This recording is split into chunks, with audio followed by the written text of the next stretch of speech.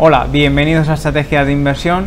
El IBEX 35 se mueve cerca de los 9.600 puntos en este final de septiembre, mientras que la actualidad económica también gira en, eh, el mercado del petróleo, en el mercado de materias primas, donde el barril de Brent alcanzó ayer los 81 dólares, un nivel que no se veía eh, en los últimos cuatro años. Además, también los inversores vigilan toda la actualidad en torno a la negociación entre China y Estados Unidos y sus aranceles. De todo ello hablamos con Armando Platero, responsable de Relaciones Públicas de De Giro. Muy buenos días Armando, ¿qué tal? ¿Cómo va? Hola, muy buenos días. Eh, ¿Cómo estáis viendo desde de, de, Giro la, la, situación de los mercados en Europa? Eh, hombre, en primer lugar, en Europa hemos tenido pues, una fase quizá un poco más bajista durante los últimos, el último mes. Eh, sí que es cierto que Estados Unidos eh, va repuntando y prácticamente está batiendo récords eh, todas las semanas, llegando el Standard Poor's o llegando el Nasdaq 100 a, las cotas más altas históricas. parece que ha remontado un poco, luego también tenemos las declaraciones de, Draghi respecto a los tipos a la inflación y bueno, habrá que ir viendo cómo, cómo, se desenvuelve a finales de este mes y a principios del mes que viene de octubre. Hmm. En cuanto a la bolsa española, comentábamos que el IBEX 65 está cerca de los 9.600 puntos después de 10 sesiones prácticamente de subidas y la corrección que tuvo la sesión de este lunes. Eh, ¿cómo, ¿cómo, lo veis desde vosotros? Hombre, al final nosotros, eh, a nosotros que, que, suban los valores, al final es bueno para, para los accionistas, es bueno para las empresas, significa que, que hay movimiento, significa que, que a la hora de que se están haciendo movimientos de inversión. Entonces a nosotros como entidad financiera y como broker es lo que intentamos siempre eh, trabajar y que, bueno, que se, siga ese camino. Eh, desde el punto de vista de giro, eh, nosotros lo que ofrecemos es al cliente, en el caso de que vea alguna oportunidad de inversión, la mejor plataforma a la hora de, operar. Entonces esa es nuestra, nuestra máxima y en función de eso veremos, veremos cómo se desarrolla, veremos a ver qué, qué decisión y qué estrategia llegan los próximos meses respecto a ello. Hmm.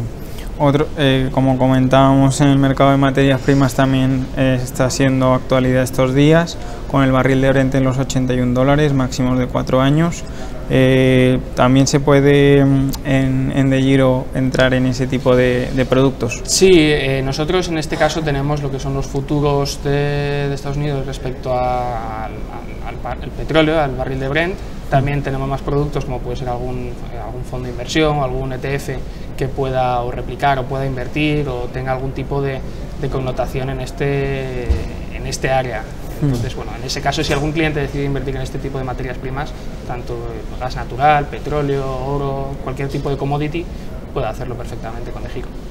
Hmm. El euro, por su parte, también rebota hasta los 1,17 dólares. Es un, mercado que siempre atrae mucho, aunque es algo complicado. Eh, también, también se puede eh, operar, ¿no? Eh, eh, respecto a divisas, nosotros no somos principalmente un broker de Forex, ¿no? Mm. entonces eh, sí que bueno, se pueden tener distintas divisas, se puede operar, pero no nos dedicamos principalmente a ello. Eh, en cuanto a los tipos de cambio, bueno, vamos, vamos a ver cómo se desenvuelve, ya que Estados Unidos ha tomado la delantera en los tipos de interés. Veremos qué, qué, qué, decisiones va, se va a tomar desde el Banco Central Europeo, si decide subir tipos, si realmente la inflación que, estiman eh, bueno, acaba siendo la que realmente es y, en los mercados de divisa, pues bueno, este último año vemos como el, quizá el dólar se ha apreciado algo más respecto al euro, pero eh, bueno, al final la política monetaria es eh, en función de cómo se, se, vaya dando el mercado a la hora de, hacer las inversiones y tanto el tema macroeconómico. Hmm y ya a nivel más mm, corporativo, eh, ¿cómo, ¿cómo, os habéis adaptado a MIFID y, eh, o sea, estáis del todo adaptados ya? Eh, nosotros, eh, bueno, como entidad holandesa, nos hemos tenido que adaptar ya desde el 1 de enero del 2018 a la nueva regulación de MIFID II. en España faltaría todavía sacar lo que es el, la regulación aprobada por el, por el Congreso, eh, y, faltaría que entre más en vigor. Se están ya dando cambios, se va a ver muchos cambios a la hora de, pues, de ofrecer productos, del asesoramiento financiero. Nosotros somos brokers de solo ejecución en ese sentido, quizá no nos afecte tanto, pero sí que hemos desarrollado y hemos trabajado fuertemente para que nuestra plataforma esté acorde a la legislación vigente y seguiremos trabajando para que el cliente pues, siga pudiendo operar de la mejor manera posible con, nuestra plataforma y con The hmm. Pues hasta aquí la entrevista con Armando Platero, responsable de Relaciones Públicas del broker de Giro. Muchas gracias Armando por estar con nosotros y hasta otra ocasión. A vosotros, muy gracias. Muchas gracias. Ustedes pueden seguir informados de toda la actualidad de la bolsa y los mercados en estrategiasdeinversión.com. Muchas gracias.